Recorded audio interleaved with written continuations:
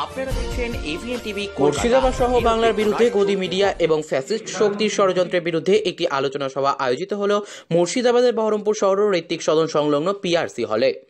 বন্দি মুক্তি কমিটি এবং এনআরসি বিরোধী সংহতি সংগঠনের পক্ষ থেকে এই আলোচনা সভার আয়োজন করা হয়। রবিবার দুপুর নাগাদ এই সভাটি অনুষ্ঠিত হয়। মুর্শিদাবাদের সাম্প্রদায়িক সম্প্রীতি বজায় রাখতে এবং বর্তমানের সংবাদ মাধ্যমগুলির ভূমিকা নিয়ে আলোচনা করা হয় এই সভায়।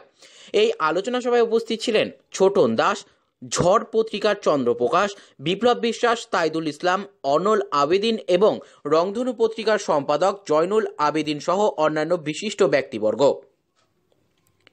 হাসান বাসিরের রিপোর্ট এবিএন নিউজ।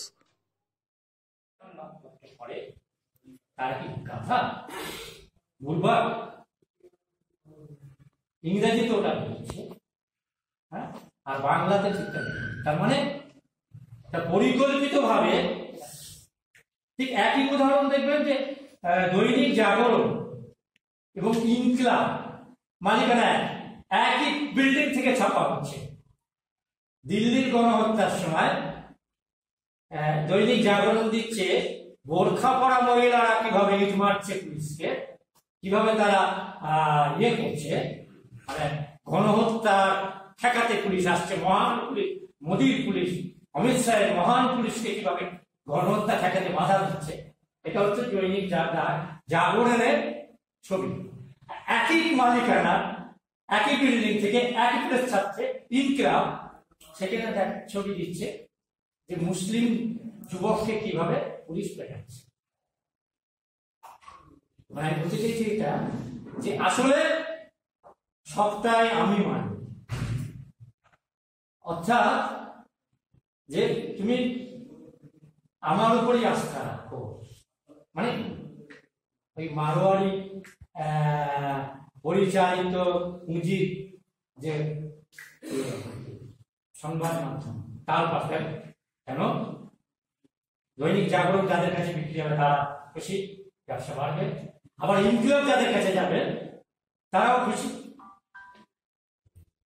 এই যে এই যে নেচার মিডিয়া হ্যাঁ এখানে একটা জিনিস পরিষ্কার করব যে মনের মনের মালিক যে, মনের হচ্ছে। আমরা আমাদের অভিজ্ঞতা থেকে এটা ধরুন খাগড়া ঘরের সময় দেখেছি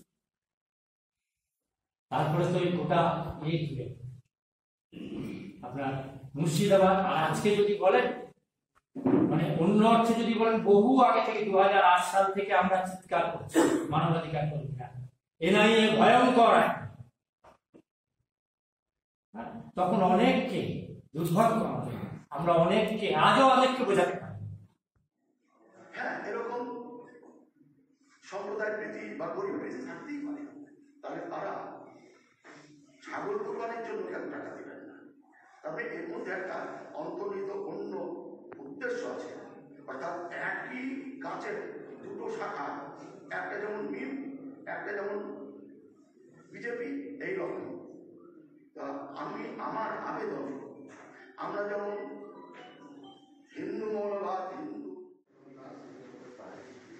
উপস্থিত এই জেলার পক্ষ থেকে বলছি এই ধরনের যে কোনো সভা সমিতি সেখানে আমরা প্রায় অংশগ্রহণ করে থাকি। ভবিষ্যতেও করব আরও জোরালো ভাবে করব আপনাদের সঙ্গে থেকে। বন্দি মুক্তি কমিটি এবং আরও যে সমস্ত মানবাধিকার সংগঠন আছে তারাও লড়াই করব সর্বক্ষেত্রে লড়াইতে ছড়িয়ে দিতে হবে। এবং আমি বলব, আরও বেশি করে মা বোনদের মানে সবাই জমায়েত করতে হবে। আর একটা যারা আমরা অর্গানাইজার যে আজকে সভারও যারা একটু ভাববেন, শুধু বক্তৃতা দিয়ে চলে গেলাম হবে না। হিন্দু কমিউনিটির লোকজনকে নিয়ে আসার দায়িত্ব তো তাদের। যারা আনতে হবে এবং অত্যন্ত যাতে সমান সমান যদিও না একটা মানে উল্লেখযোগ্য নাম্বার। যাতে পার্টিসিপেট করে জেলায় সর্বত্র এইটা আমাদেরও খেয়াল রাখতে এবং তবে হিন্দু, মুসলমান, পরস্পর যে তৈরি করতে পেরেছে, এটা বিজেপি সাফল্য। বিরোধী মতকে, তাদের অপছন্দের মানুষদেরকে, তাদেরকে বিপদে ফেলার জন্য, বিপদে ফেলার জন্য, অসুবিধে করার জন্য লাগাতার এনআইএ আইটি সিবিআই তাদেরকে নামিয়ে দেওয়া হয়েছে। মুর্শিদাবাদে এনআইএ গ্রেপ্তার করেছেন প্রায় এগারো জন এগারো জন দরিদ্র মানুষকে। সাধারণ মানুষ তাদেরকে সন্ত্রাসবাদী তকমা লাগিয়ে শুধু দিল্লিতে অভিযোগ দায়ের করেছে।